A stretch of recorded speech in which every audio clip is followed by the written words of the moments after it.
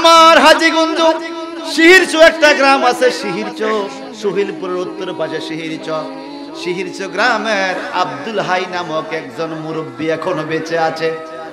উনি একটা কেরামতের কথা বলেছেন। উনি বলেন, আমি উনিশশো পঁচানব্বই সালে সৌদি আরব ছিলাম। হঠাৎ করে আমাকে একজন ফোন করলেন আবার সালমাদানি হজ করতে আসছে। সোবান আল্লাহ কন্যা আমি বললাম, আমি তো হুজুরকে রিসিভ করতে হবে, হুজুর হজ করতে আসছে। এই মোবাইল কোথা থেকে আসছে কোনো খবর নাই। একটু পরে আবার কল আসলো। আল্লামা নুরুল হক মালানা সাহ হুজুরকে আপনার খলিফা, তুয়ারুকের মালানা সাহেব, যিনি নুরি মুজাসসাম কিতাব লিখেছেন, ইসলামিক ফাউন্ডেশন বাংলাদেশের গভর্নমেন্ট যেই কিতাবটা প্রকাশ করেছে। নুরুল হজে আসতেছে। তুমি আব্দুল হাই রে, তুমি তাকে রিসিভ করবে। নুরুল হক মালানা সাহেব হজে গেল। জেদ্দার থেকে ওনাকে রিসিভ করা হলো। যেদিন আরাফাতের ময়দান হঠাৎ করে নুরুল হক মালানা সাহেব হারিয়ে গেল। এখন আব্দুল্লাহ বলতেছে আমি কি করব? হুজুরকে কোথায় খুঁজে পাবো? খুঁজে তো পাই না। উনি খুঁজতেছেন আরাফাতের ময়দানে খুঁজে পান না। ঘুরতেছেন ঘুরতেছেন হঠাৎ করে উনি এক জায়গায় ক্লান্ত হয়ে বসে গেলেন। এমন টাইমে আব্দুল্লাহ সাহেব বলতেছে আমি দেখতেছি আমার হুজুর কাবলা আবর সালমাদানি আমার কাছে হাজির হয়ে গেছে এই তুমি কি সাহেবরে খুঁজো? কইছি কই যাও? ওই জাবালে রহমত পাহাড়ের ওই পাশে। একটা পাথরের কাছে উনি বসে আছে, তুমি তার কাছে চলে যাও। আমি আবার হুজুরকে এই দেখি আমি দৌড় দিলাম। আবার ভাবলাম হুজুরকে নিয়ে যায় তাকে দেখি হুজুর নাই। হুজুর কোন দিকে গেল? গায়েব হয়ে গেল, হুজুর নাই। আবার দৌড়াইয়া যেখানে আমাকে ঠিকানা দিয়েছে সেখানে গেলাম আরাপাতের ময়দানে। আমি গিয়ে দেখলাম আবশ্যা হুজুর কেবলা আধ্যাত্মিক নজর দিয়ে আধ্যাত্মিক নজর দিয়ে আমাকে যে জায়গায় বলেছে আমি সেখানে গিয়ে দেখি নুরুল মালা সব বসে আছে। হুজুর আপনি এখানে বসে আছেন আমি আপনাকে খুঁজতেছি।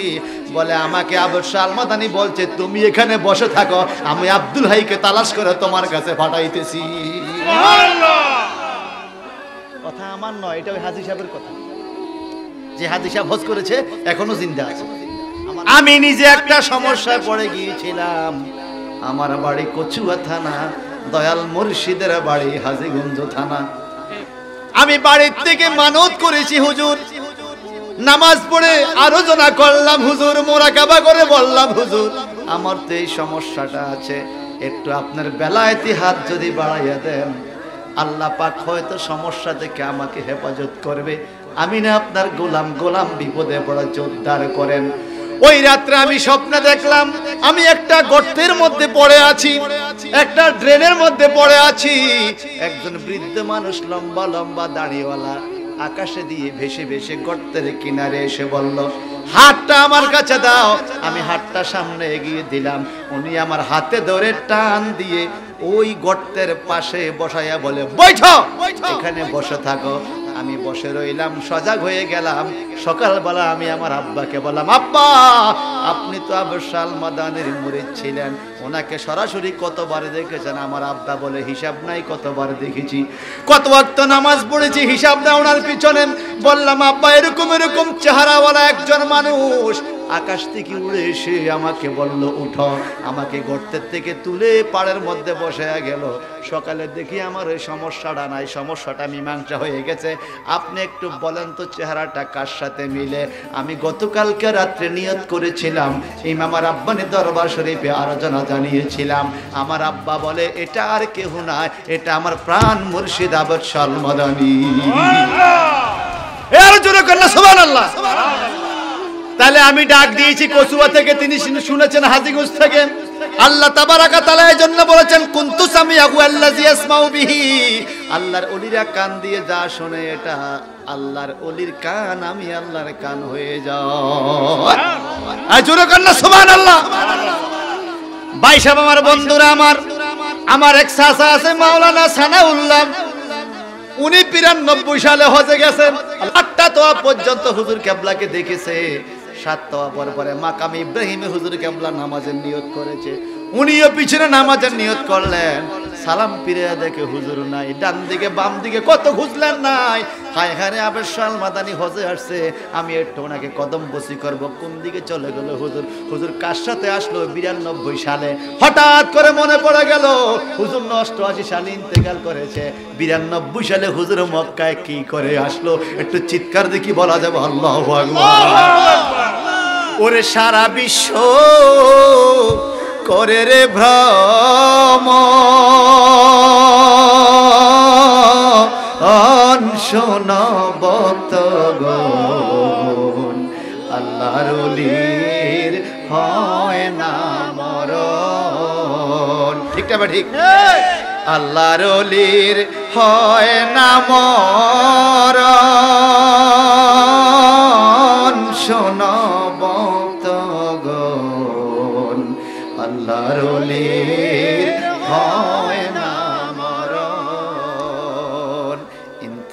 ইন্তেকালের আগে ঘুরে পিরে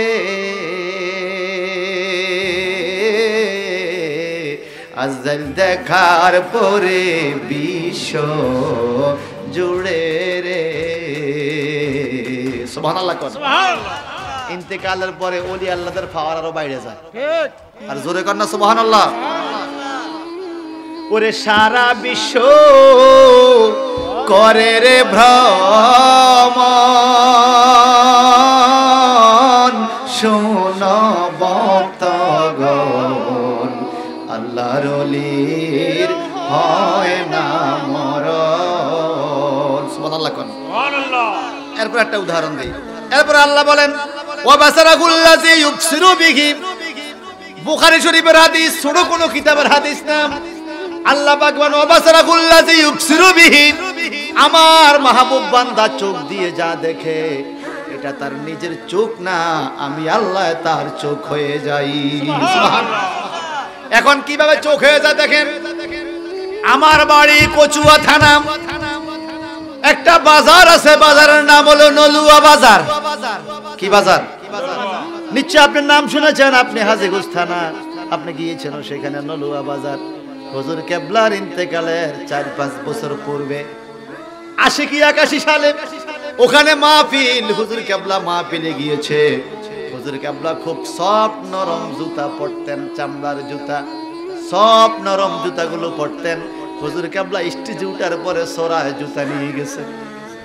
হুজুর কেবলা ওয়াজ করতেছেন। যখন নামলেন, হুজুর কেবলার জুতা নাই। অবশ্য হুজুর কেবলা বলে, আমার জুতা কোন দিকে গেল? ওখানে চেয়ারম্যান সাহেবের বাবার নাম ছিল ইদ্রিস মুন্সি, উনি ইন্তেকাল করেছে। গত দুই বছর আগে। উনি ভান্ডা শরীফের মুরিদ, কিন্তু আমার মুর্শিদ আবদার প্রতি ওনার যথেষ্ট ভক্ত ছিল তার কারণ। উনি বলতেন, আমার ভান্ডা শরীফের পিসাবকেও দেখেছি, আমি আবৎসা আল মাদানিকে কদম বুঝি করেছে। উনি শ্রদ্ধা করে ঘরে এনেছে এবং বললেন, হুজুর আমার নতুন একজোড়া জুতা আছে ঘরে ইনটেক কেউ এগুলা পা দেয় নাই। চামড়ার জুতা ধরেন নিয়ে যান হুজুর কেবলা বলে আমি তোমার জুতা নিবে কেন? আমার জুতা আমার বাড়িতেই যাবে। আরে জোরে বলুন না। এখন না আমরা রাত্রে এসে রাত্রে চলে যাই গাড়ির ব্যবস্থা। আগে তো হুজুর আসলে থাকতো। কথা বলুন না কেন? হুজুর কেবলা থাকতেন। আমাদের গ্রামে চেয়ারম্যান সাহেবের ঘরে শোয়া। সকালবেলা হুজুর কেবলা জুতা ছাড়া রিক্সায় উঠছে তখন রিক্সার চলছিল। মানুষ জিকির করতে করতে হুজুর কেবলাকে হাজিগুন নিয়ে গেলেন। হুজুর কেবলা রিক্সায় গেলেন জুতা নিলেন না খালি পায়ে রিক্সায়। বাড়িতে গিয়ে দেখেন এখন যেখানে মুর্শিদ কেবলার খানকা শরীফটা বড় একটা নারিকেল গাছ আসেনি। আছে।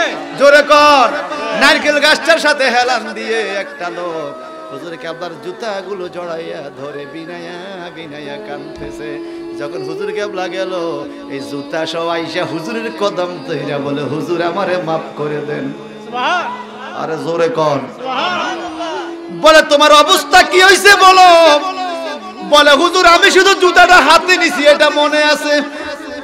এরপরে আর কিছু মনে নাই। কারা যেন আমাকে উড়াইয়া উড়াইয়া আসাড়তে আসাড়তে বলছে জুতা ছাড়বি না জুতা হাতে রাখ। আমার আষাঢ় মারে আমার জুতা ছাড়তে দেয় না। আমি জুতা ছাইরা দিলে আমারে মাফ করবে। কয় না জুতা ধরে রাখতে বলে তোরে মারে পালামু। জুতা দইরা উড়াইয়া উড়াইয়া আমারে দরবার শরীফ বাইনা পালাইছে হুজুর। বলছে এখানে বৈশা থাক জুতার মালিক আসতেছে। ওনার কাছে মাপ চেয়ে তুই তারপরে যাবি। একটু চিৎকার দেখি বলা যাবে আল্লাহ আকবার। আল্লাহ আকবার।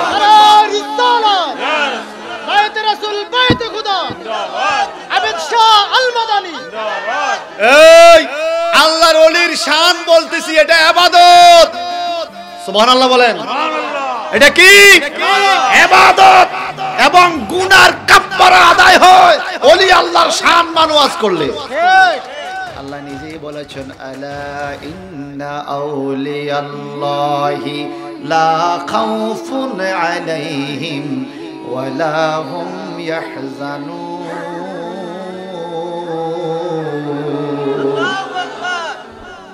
আল্লাহ পাক নামাজের কথা বলেছেন, রোজার কথা বলেছেন, হজের কথা বলেছেন ওগুলো ফরজ। কিন্তু হরফে তাম্বি ব্যবহার করে দমক দেন নাই, সাবধান নামাজ পড়ে কথা বলেন নাই, সাবধান রোজা রাখে কথা বলেন নাই, কিন্তু নামাজ রোজা করা ফরজ। বলি আল্লাহর ব্যাপারে যারা আল্লাহওয়ালা, আল্লাহকে সেজদাওয়ালা রুকুওয়ালা তসবি পড়নেওয়ালা, নবীর দরুদ করনেওয়ালা। ওই আল্লাহ বলেছেন, আলা ইন্না আউলি নিশ্চয়ই আল্লাহর যারা, লা খাউফুন আলাইহিম, তাদের কোনো ভয় নাই। ওয়ালা হুম ইয়াহজানুন, তারা দুনিয়া আখিরাতে কখনো চিন্তিত হবে না। যদি আপনি নিজে আল্লাহওয়ালা হতে চান, জবানটা বড় করে কি বলা যাবে? আল্লাহু আকবার। ভাড়া আমার, ওই লোকটা হুজুরকে আপনার কদম চাইপা ধরলো। সুবহানাল্লাহ কোন। আরও জোরে বলেন।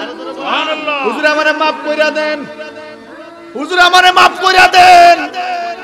ওই ঘটনা যখন আমি আমার আব্বার মুখে শুনলাম তখন আমি মুর্শিদে বানাইলাম। শোনো শোনো মাদানি, ও ইমামে রব্বানি, শোনো শোনো মাদানি, ও ইমামে রব্বানি, গোলাম হাজির তোমার দরবারে, গোলাম হাজির তোমার আবার শাহুজুরে গোলাম কে কে হাত তোলেন?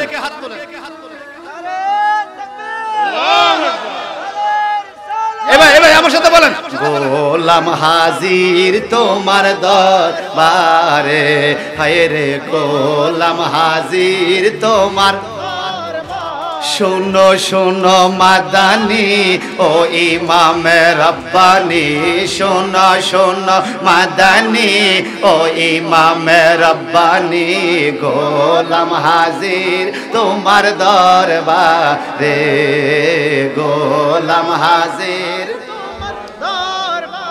সোরায় সোরি করে একদিন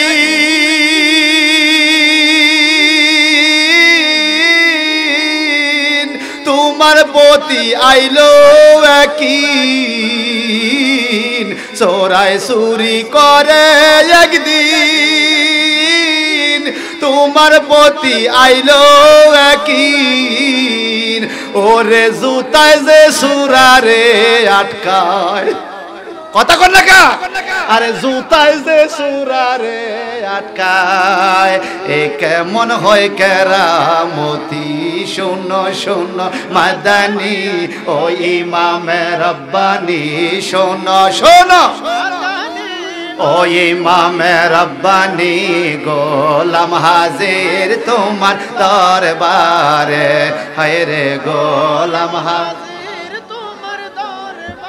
গোলাম হাজির তোমার দরবারে, মুর্শিদ গোলাম হাজির তোমার বারে গোলাম হাজির তোমার আরে সোরায় উঠছে সুরি করতে।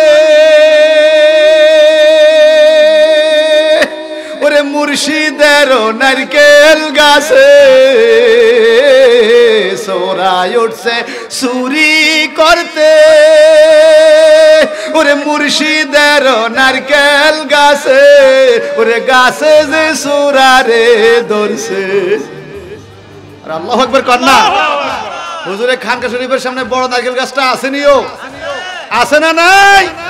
রাত্রে সুর উঠছে, নারকেল পাড়তে, গাছের মাঝখানে বয়ে রয়েছে, নামতে পারে না। সুবহানাল্লাহ কন্যা ওরে সুরার গাছে আটকাইছে।